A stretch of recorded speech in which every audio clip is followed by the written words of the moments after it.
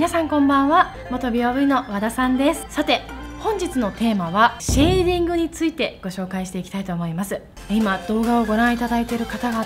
普段雑誌やメディア通り真似してこうフェイスラインですとか鼻筋にシェーディングをなんとなく入れてませんか？実は一人一人入れる場所が異なるんです。シェーディングの役割というのは本来あなたの骨格にうっすらある影を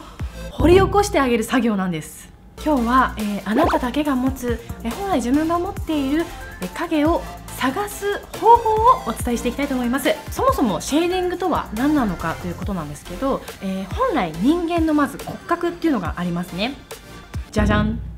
えこの骨に沿ってえー、シェーディングをまず入れることが、えー、実は大切になってきます。私たち日本人でも本当にもともとある骨ここの骨に沿って付随している影くぼみはどこなのかっていうのを自分なりに研究して自分にしかない、えー、影を見つけてそこを重点的に入れることで自然なシェーディングができるようになります。ではですね早速実践していきましょう。ね、ちょっと今シェーディングを完全に落としました。だいぶ顔が変わってしまったんじゃないでしょうか。びっくりしちゃった今。では、えー、早速ご紹介していきたいと思います。えー、用意するものが今日こちら。エチュードハウスの、えー、プレイ101スティックベースカラーの18番のお色味ですね。結構太めのスティック状でしてスルスル結構馴染むので私は結構シェーディングの時にこちらを使用しています。これをつけてスポンジでなじませたりとか指でなじませる方法ももちろんあるんですけど私はこちらのブラシを使っています。これはですね私は本当にバーバリーで買ったブラシなのでちょっと今日本にあるのかどうかっていうのはちょっとわからないんですけれどもどちらかというとメーカーというよりはこの毛先のブラシがポイントでして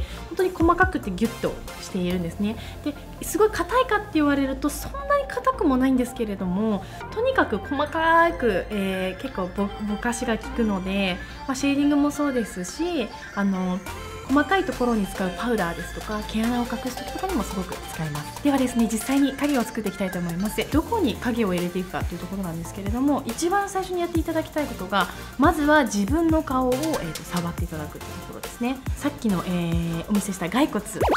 をイメージしていただいて大体はあの分かりやすいのはこの辺フェイスラインと、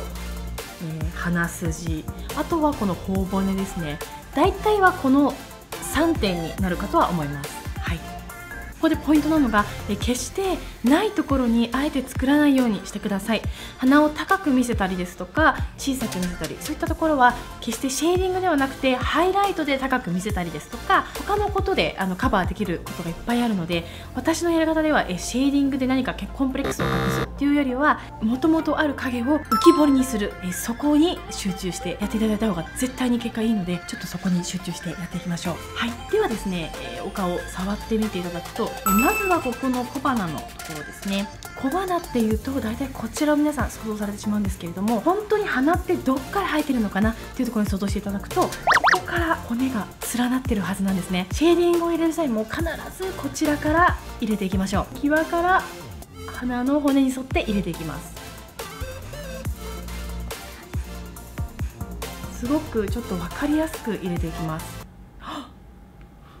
ちょっと分かりやすかったですね。本当にここにどちらかというとここがメインではなくてむしろここがメインになります。ではこれをブラシを使ってぼかしていきます。こちらにぼかしていくのではなくて本来ある骨にブラシを当ててぼかしていきます。骨にクックックックってこう入れる感覚で大丈夫です。実際に骨があるのはここからここまでなのでそこを一番、えー、濃いグラデーションにしてこの下っていうのは本当にうっすらぼかす程度で大丈夫です。それこそが本当にこの人彫りが深いんだなと思わせるポイントになります。では逆側も一緒にやっていきましょう。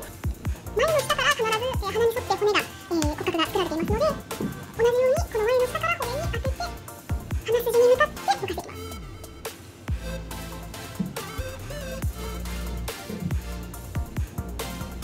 2個目のポイントはここに頬骨になります。本来のま骨格で言うと、まあ、必ずここに骨があってこのくぼみに沿って影ができるのでほっそりポイントにもなりますし私が一番大切に思うのが長谷川潤さんですとかカリナさんとかあの笑顔がすごく素敵な方って結構あの頬骨がキュッと上がっている方が多いんですね。そういった方っていうのは、えー、自然に骨格がここのくぼみができているんです。結構ググってちょっと写真とか見てみると分かりやすいと思うんですけどなのでここに入れることによって自然にこう洗った時により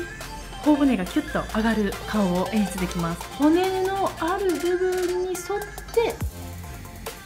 入れる。でよくこう斜めに入れる方とかもいらっしゃるんですけれどもあの削ぎ落とすっていう感覚ではもしかしたら、えー、いいのかもしれないんですけれども骨格に沿って影を浮き彫りにするっていう論点でいくと少しずれてしまうのでしっかりと、えー、自分にあるものを浮き彫りにする。それがシェーディングの本当に役割になってくるしそれこそが自然に見えるので、えー、今回は本当にその骨に沿って入れるっていうところを、えー、ぜひポイントにしていただければと思います。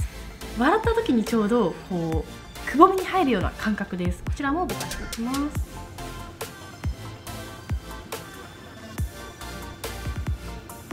にっこりするほっぺをこう縁取るような感じですね。結構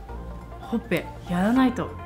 やるでは全然違うと思うんですけどやっぱり笑った時ってちょっとキュッと頬骨頬骨もほっぺも上がりますよね。それを無表情の時でも演出してくれるような効果があります。じゃあこっち側もやっていきましょう。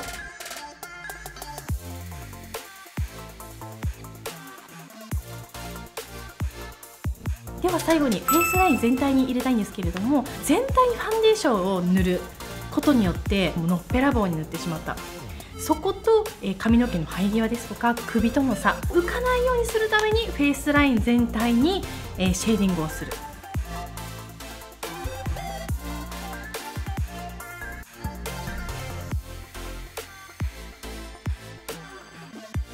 はいということで今全体のシェーディングが終わりました。結構あのシェーディングをするとしないじゃ雰囲気や印象が変わりますのでぜひ今日のやり方でこのやり方はどんな意味があるのかどんな風に見えるのか少しその雑誌とかメディアでこう省かれてしまっている部分っていうのを私が代わりに皆様見ている方々にお伝えできればと思いますので、えー、今日もあのためになっていただけると本当にお力になれれば嬉しく思います。